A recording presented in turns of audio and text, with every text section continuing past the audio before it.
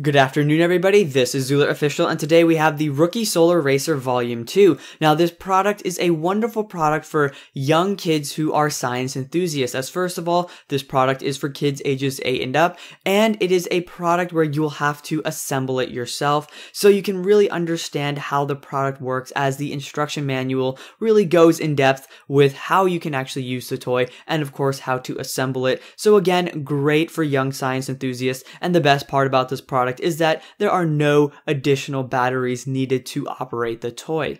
Now, before we get all eager to show off this product, I'd just like to open up the box itself and show you what is on the inside. Now, the metal frame and the gear and solar panel are in completely separate casing, which I think is great so that the product doesn't get damaged while you transport it from the store to your actual home. And then, of course, you have the basic plastic parts like the wheels and gears. And of course, we have the instruction manual to the far right. Now, once we open up all of the packages, we can see that we have the gear and solar panel onto our far left. We have the metal housing right here. And of course, we have all of the other gear that you will need to assemble the product, like the metal rods, the wheels, and all of the gears. And of course, we're going to show you everything slowly and separately. And like I mentioned, this has to be assembled and the instruction manual does go through everything very, very clearly. So if you are having any trouble, just go to the instruction manual and you will most likely be able to find your answers within the instructions as again, it is very clear. Most of it is pictures,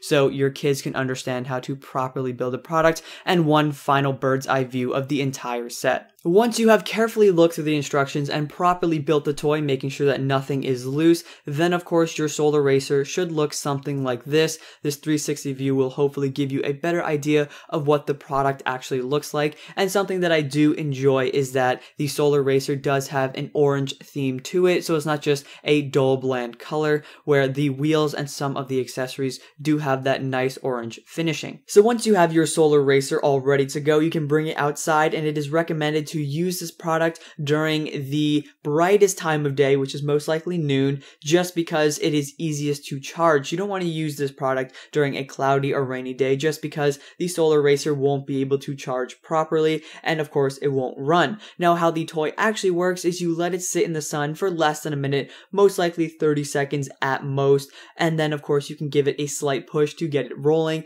and the product will continue to move until it hits a dark patch like a shadow, or of course course, you can grab the toy if you don't want it to run off the edge, or maybe go into someone's unwanted yard. So we have been switching views if you did not notice just to show you a better idea of how the product actually works. Now the one downside to the product moving on its own is that because the road is slightly bumpy it doesn't actually ride in a straight line which can be a bit annoying just because you will have to chase it in a bit of an awkward angle but other than that it doesn't travel too too far so you can always reset the toy very easily. So there you have it that is the zooLert officials review of the Rookie Solar Racer Volume 2. So I hope you all enjoyed this video. If you have any questions, feel free to comment down below and we will try to get to you as soon as possible. And of course, rate the video if you liked it and subscribe for more videos like this. So take care everybody and have a wonderful day.